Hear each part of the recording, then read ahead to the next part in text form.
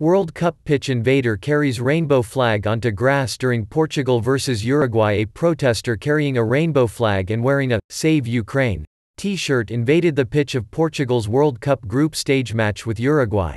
The spectator also had the words, Respect for Iranian women, on back of his shirt a protester carrying a rainbow flag and wearing a Save Ukraine t-shirt invaded the pitch of Portugal's World Cup group stage match with Uruguay.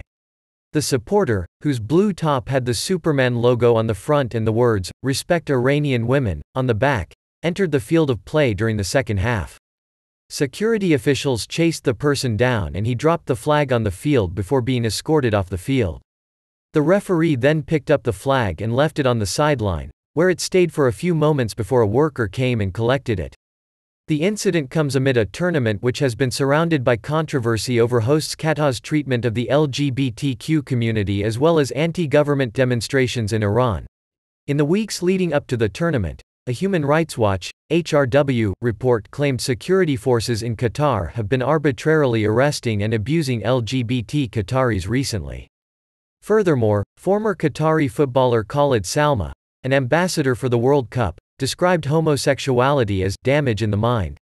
In the first week of the tournament, seven European teams lost the battle to wear multicolored One Love armbands during World Cup matches, with FIFA threatening sporting sanctions such as yellow cards and match bans for the captains who wore them.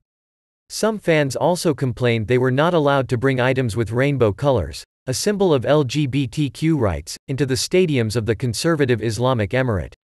Meanwhile in Iran, Widespread demonstrations have followed the death of Mahsa Amini, a 22-year-old woman who died in the custody of Iran's morality police in September after being detained for alleged violations of the country's strict dress code.